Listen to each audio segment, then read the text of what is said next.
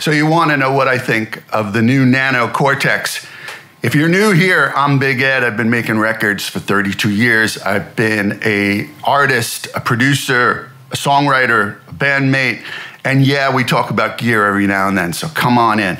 So, this new Nano Cortex, yeah, people keep asking me, oh, you were an early adopter of the Quad Cortex. Tell us about the Nano Cortex.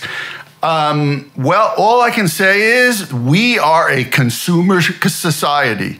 We are a consumer society because in the last few days, my YouTube feed has been flooded with influencers who just make videos to sell you stuff. And they're all talking about the nanocortex. Most of them, if not all of them, hadn't had it yet. Well, I've seen it now. And I've watched a bunch of demos about it. I took a deep dive, and I'm here to say that it may work for some of you, but maybe for most of you it won't. And here's why. Part of my issue goes back to the neural company. So I was an early adopter of the quad cortex. I loved the quad cortex, the sound of the quad cortex. What I loved about it was is that I thought the amps sounded a little bit better, especially the clean amps than any other modeler I had used to that point.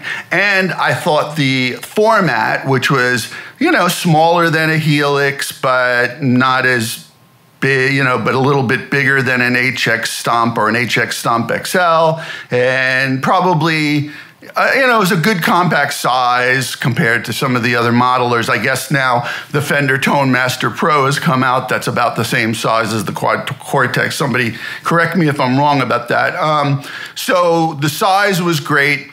Um, I thought the switches were good, but maybe a tad, because of the size, a tad close together you don't you don't obviously you don't have a volume or wah pedal or expression pedal like the helix does. So you had to program that separately. And the biggest issue i had with it was that the many of the promises that the neural company made when they put it on the market didn't come true for about a year yeah, so all the stuff they promised us when I bought it, it took a year for most of that stuff to take effect. So that kind of pissed me off. And they also promised us a desktop app, and that took two years to happen. In that time, I got rid of my Quad Cortex. Again, it's not because I didn't like it, but there were things about it I didn't love in addition to the issues with the company. And those were I liked the effects better with my line six stuff. All of the effects, like the de- delays, especially reverbs, modulation, the compression, it's kind of a push, but there wasn't many options. And that was the other thing about the Quad Cortex. There weren't a ton of options of effects, but the effects in my Helix um, were far, far better. The reverbs, everything. I just thought they sounded better and had more variety. And yes, I was used to programming them. And yes, I love the Line 6 app, and they keep updating their stuff all the time.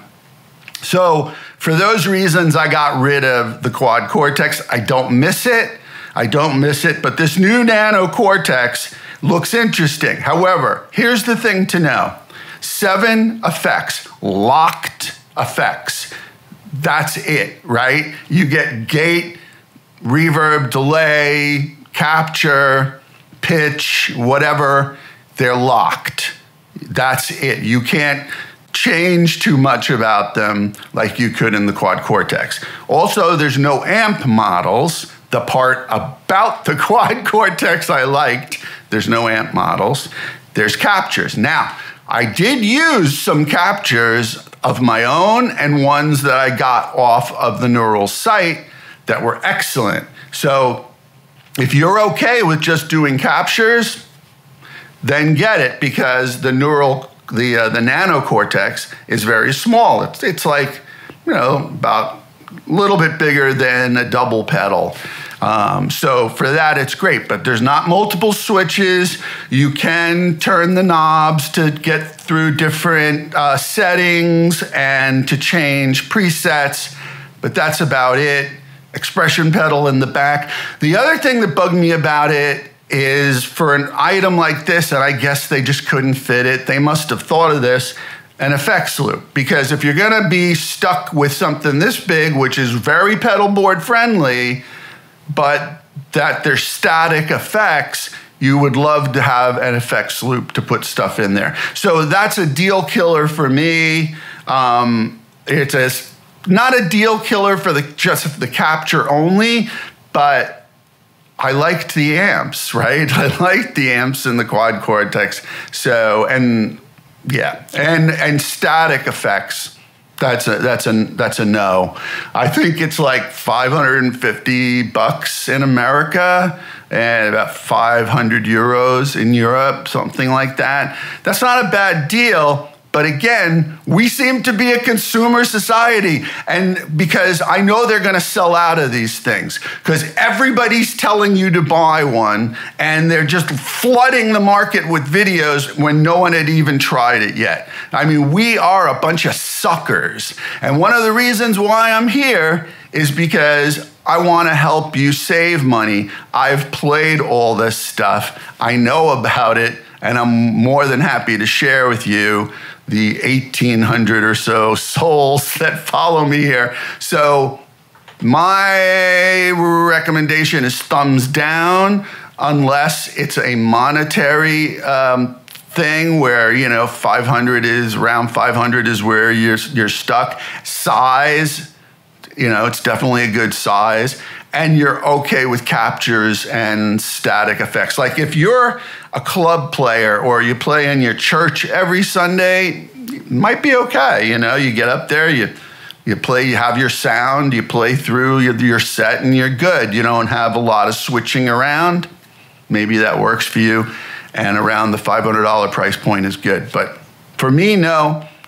I don't think for many players, but boy, oh boy, they're going to sell a ton of them because I talked to my Sweetwater guy and they're flying off the shelves from all these influencers. Um, I'd rather influence you to save money and be better at making music. So I guess I'm a fool.